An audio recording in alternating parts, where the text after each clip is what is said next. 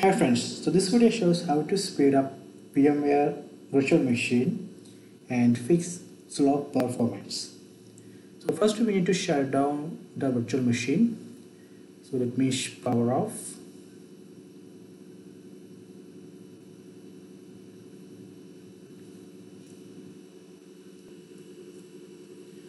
Then select the virtual machine. Then right click and select settings or you can select edit virtual machine settings. Click on settings. Then click on hard disk under hardware tab.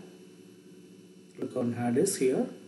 Then here you can see defragment files and consolidate free space so click on this option defragment click on this button so now you can see it's defragmenting virtual disk. So please wait.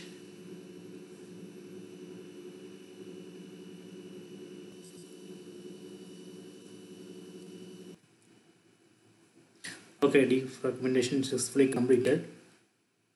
Let me click on ok. Then click on ok again. Now let me start the virtual machine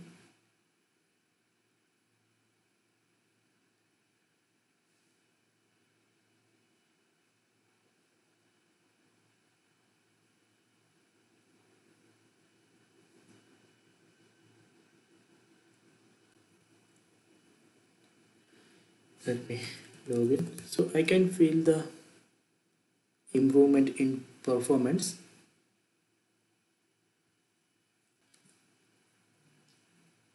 So I hope you enjoyed this video. Please subscribe my channel. Please like and share the video.